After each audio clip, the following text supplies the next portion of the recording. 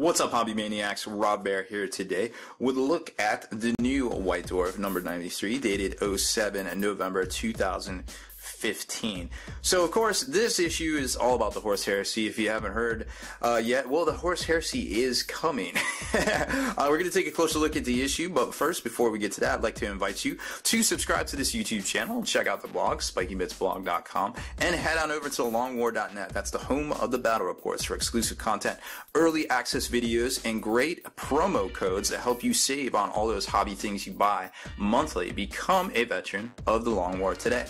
So really not neat little uh, kind of white dwarf. They give you a little pin uh, that you, you know you can put on your uh, bag or whatever. You know, it's pretty cool. I would have preferred a miniature, obviously, but they put a lot of time and money into, I guess, producing uh, the. Um, you know the miniature and the box set so you know sometimes you don't always get what you want i feel like uh, but they did give us one for age of sigmar so i don't know that being said yo why why the space marine hate space marines are people too guys you know what i'm saying Anywho, uh, they're obviously very well done miniatures. I mean, just breathtaking stuff. I mean, nobody expected this stuff to be this good. They just look great, from the Cataphractii to the Contemptor uh, to the two special characters. Just good-looking stuff.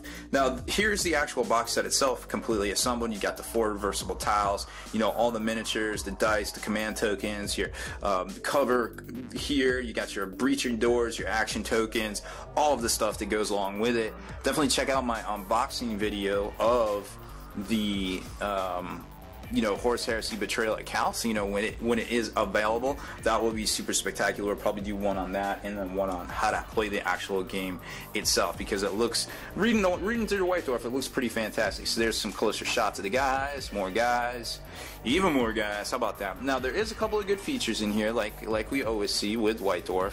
Um, besides the them just trying to sell stuff like the new um, we'll get to it in the release there, but you're going to see there's the Elimination Maniple, uh, then the Battle Demi Company, and the Battle Maniple. And of course, those are individual formations that are part of those respective books um, which uh, considerable savings too. A lot of people added them up, and uh, when they realized that they were, they were such a good deal uh, savings wise, now that was uh, definitely cool to see on the part of Games Workshop. The Paint Splatter article this week is uh, kind of four pages, which really makes up for missing I think the last two weeks. So you get the Ultramarines, you get the Cataphractii Terminators themselves, showing you some new gray color schemes and some how to do the little details on the claws, and you know nothing we really haven't seen before. But the reds are pretty striking in my opinion they show you that really rich orange red. Now this is a little different. This is more rich than the kind of uh, crimson uh, guys over here, the Tactical Marines. So two different color palettes that I really dig. And then it gets into basically how to play the game. The game itself takes place in the arcologies underneath the planet of Calth itself. You know, because the star goes, um, I guess goes critical, doesn't exactly go supernova, because I guess then it blows up or whatever. But either way, so a bunch of, you know, solar flares, poisonous radiation, you know, kill even Astartes, so they gotta go underground. And then when you go underground, they find each other eventually, and there's gonna be battles.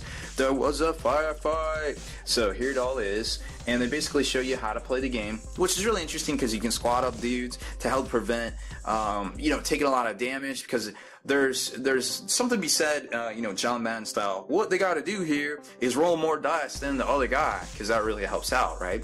So there's weapons to give you more dice for your attacks. Uh, having more guys in a squad gives you more dice to defend or more wounds basically to take away. They don't really call it wounds, but you kind of get the general idea about how it plays. And two guys you know, there's different different structures to how how many guys can be in each squad. Um, like you can have up to three tacticals. You can have a, Terminator squatted up with one tactical, or you can have the Contemptor. It just kind of depends on what you want to do there. But you know, at the end of the day, it's really cool, like kind of how it all works. And there's benefits and there's drawbacks. There's critical effects that you can roll. Like this is a critical effect result. That's a hit result. That's a shield result um, you know, on the dice, and there's one blank. So a lot of different things coming into play basically on how to play it, and they give you basically a rundown of the game in here as well. So check that out; it's pretty neat. Um, in, a lot of stores this weekend are going to have preview copies of the actual Horus Heresy uh, box set. So run down to your local store. I'm hearing from different sources that they might Games Workshop might be sold out of these box sets until January. I'm hearing that's when the next wave comes. Don't really know what's going on exactly. Um, if you want to get a pin to match your Ultramarine pin, pick up the Warhammer Visions uh, this week. So you get the, um, well, I guess it's at the top of the month, but anywho, so you can get the little crazy word bear dude there. And next week in the White Dwarf is a free painting poster, which we kind of saw in the past, but now we're getting a new one. Uh, they changed up a lot of the colors actually. I think there's 12 different colors they got rid of and um, just kind of simplified some of the, the basic mechanics and things like that. So as far as releases go, obviously the Betrayal of Calth is coming out uh, next week, $150 re- retail. You got the Battle Demi Company uh, coming out for Space Marines, a retail of 220. The Battle Maniple for 215, and then the Elimination Maniple for 150. And like I said, there's significant savings here, uh, even at full retail if you manage to get them at a discount. Uh, by you know one of uh, some of the many online discounters out there, you can definitely do that as well, and you'll save even more. We recommend Dice Head Games here at Spikey Bits. Uh, they're a great retailer, and we've done a lot of work with them in the past, so check them out. It's dicehead.com. And then there's a couple of new books coming out um, The Unremembered and uh, what is that? Betrayal at Calth itself. Oh, and then there's like a combo book, limited edition between the two uh, that that actually has both of the books in it. So a couple of new little stories from Horus Heresy about what's going on that kind of expounds. Uh, on you know the Know No Fears kind of like right at the end of the Horus Heresy they're basically all go underground we don't really know what happens that kind of expounds on some of the uh, uh, fluff and what's going on in the arcologies themselves. And then if you can, also pick up, where is it? I got one close.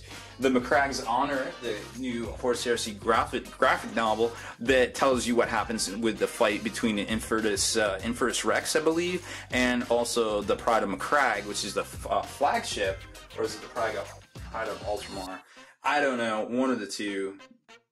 That uh, they basically go after each other into the warp and are never heard from again. But no, it's a cool story. Uh, and if you're into, you know, like, hey, I wonder what happened to that flagship that was chasing down the other flagship at the end of Know No Fear. Well, pick up that graphic novel and you'll find out because it's a really cool story. I feel like. So, you know, I just wanted to talk for a little bit or just a minute or two on you know what's going on at Games Workshop because it seems like you know they're putting out they're really making some good moves lately and you know I did a rant video early this week about basically, you know, kind of um, how the Kauyon book that had the Tau in it, along with you know some Space Marine rules, um, was a really good deal, and it was a really good way to see these splash releases and these things come out. And now we're hearing that this, you know, this whole like new uh, Age of Darkness, the Horus Heresy kind of thing might be its own line, its own product line to replace, you know, Lord of the Rings or Hobbit or whatever. I mean, they've had that property for 15 years. So let's be honest. I, I don't there's a lot of people out there that say they just picked it up just to just so other companies wouldn't get it, so so to speak. Um, I can't obviously say one way or the other because I'm not them. I, I don't I don't know what what the whole end, end game was there. But I can tell you this much that you know uh, Space Marine sell. Uh, you know, in Games Workshop just seems to find more and more creative ways to give us the Space Marines that we seem to want, even though we say we don't want them, but we still buy them. I feel like so. I feel like on one hand they're listening to us, but on another hand they're just kind of giving us what we want, and maybe we don't know about it quite as much as we think we do. Um, but you know, that being said, power is perception. You know, power is reality. All that's re- reality is perception. You know, kind of however you want to look at it. I feel like, but you know, at the end of the day, it's all about the hearts and minds. And for right now, uh, you know, Games Workshop really seems to be doing a good job of that. You know, putting out this sweet deal with all these cool looking models in it. You know, maybe we'll see some box sets. Maybe we'll see this continuing as an expansion. This is listed as a core set, air quotes. So I don't know why there would be. Um, a core set uh, kind of um, I guess moniker attached to it if it wasn't going to be something that sat on the shelves and was part of something bigger. Now we're hearing that this is a one and done kind of print run, and whatever they made is all that's going to be out there. And whether that's true or not, it's hard to say. Whether they're completely sold out into the end of Christmas, also hard to say. It could be promotion, it could be you know uh, perceived um, value, I guess, in, in, in that regard, but at the end of the day, it really just comes down to, hey, is it worth it for you to pick it up? Chances are probably yes. I mean, the savings, whether it goes to plastic or whether you value the, these plastics over the forge rolled ones, uh, the forge rolled resin models, obviously either way it's definitely a savings i, I feel like for $150 um, you know in most uh, countries currencies i feel like it's also a very good deal as well. So that being said i think it's a win-win for a lot of people out there. And it's a really interesting time because now we're seeing with these Kauyon books you know these types of splash expansions that they can do and now do like a one drop Horus Heresy box you know there's still time left in the month. And we're seeing these new and new rumors of like you know chaos things and you know uh, one-off clan pack releases of the Assassins and things like that. So it seems like Games Workshop, it's always been rumored that they're going to go this whole like splash release thing, but how cool would it be with every week? You just don't know what's going to come out. It could be Assassins, it could be Archaon riding a crazy four-headed dragon, it could be new Horus Heresy, it could be Age of Sigmar, it could be a new Tau book, it could be Commander Shadowsun, it could be new Tyranids. Like you just don't know. Like you think, oh man, week after week after week after week it's going to be like Tau, or week after week after week it's going to be Space Marines. Well now it could be anything. And that's just a really exciting proposition for all of us, I feel like, because it gives you a reason to keep up with, you know, checking out the White Dwarf, checking out your local game store, checking out your local GW, and just staying entrenched in the hobby that we all really enjoy. Whether you're, you know, a collector, or a hobbyist, it's it's all of these things that will require you to, you know, maintain your foot in the door, so to speak uh, into this hobby. And I think it's a really exciting time. And I could, I really think Games Workshop's making a lot of good moves, starting, uh, starting with the Kauyon book and continuing with the Horus Heresy. So don't F it up, GW. You're doing good things. Thanks for watching my video uh, review of the new White Dwarf 93. Finally! The Long War Kickstarter is here. We are trying to raise money to improve all elements of our videos cameras, microphones, lighting, and even editing software. We're more than just a company dedicated to bringing hobby back, we're a community. Whether you enjoy all of our content for free here on YouTube, or you're a member of the fast growing Hall of Veterans and you enjoy early exclusive access, we're part of the same community. It's not all business though. All the Long War swag that you guys have been waiting for is available on the Kickstarter please stop by, check out our Kickstarter, and thank you for the support.